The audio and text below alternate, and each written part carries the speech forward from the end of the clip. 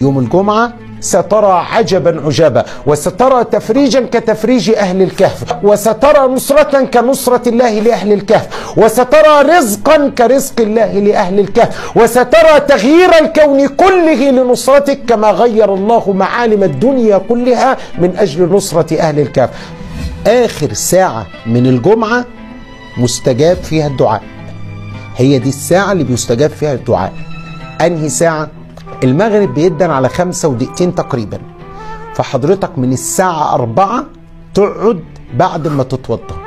ركز معايا وخد مني الهدية دي هتغير كل حياتك. والله لو انت مديون ربنا هيبعت اللي يسد لك دينك. ولو انت مكروب ربنا هيبعت اللي يفرج لك كربك. ولو انت مهموم ربنا هيزيح همك. ولو انت عندك أي شيء عايزه ربنا يحققه لك. بس خد الكلام اللي بقوله لك ده ونفذه بالمعنى الحرفي. ما تحدش عنه أي لحظة. ما تحدش عنه في أي كلمة. صلي على سيدنا الحبيب صلى الله عليه وسلم.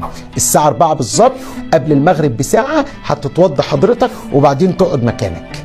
تقعد مكانك اللي بتصلي فيه سواء في بيتك لو الجامع فاتح اقعد في المسجد. المهم اقعد في مكان هادي علشان تخلو بربك. وبعدين؟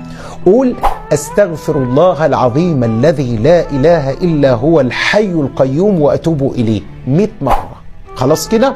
وبعدين قول اللهم صل وسلم وبارك على سيدنا محمد صلاة تفرج بها الهم وتزيح بها الغم وتسدد بها الدين وتحقق بها الآمال. مئة مرة.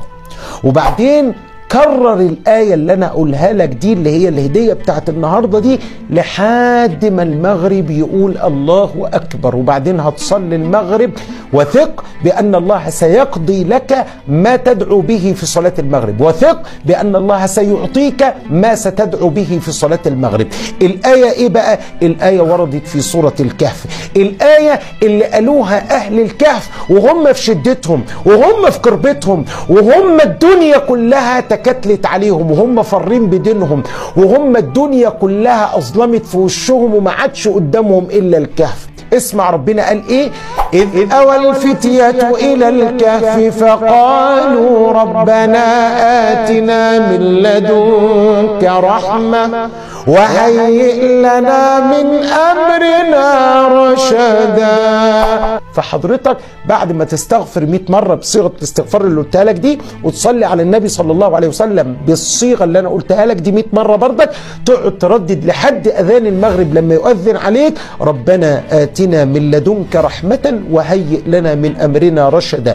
هكذا إلى أن يؤذن المغرب. وبعدين تردد الأذان وبعدين تقوم تصلي المغرب وانت في سجود المغرب ادعي ربنا باللي انت عايزه سترى عجبا عجابا وسترى تفريجا كتفريج أهل الكهف وسترى نصرة كنصرة الله لأهل الكهف وسترى رزقا كرزق الله لأهل الكهف وسترى تغيير الكون كله لنصرتك كما غير الله معالم الدنيا كلها من أجل نصرة أهل الكهف. صباحكم أمل صباحكم نور صباحكم ابتسامة صباحكم تفاؤل صباحكم موصول بالنبي الرسول وصل اللهم وسلم وبارك على نبي البركات وعلى آله وصحبه وسلم.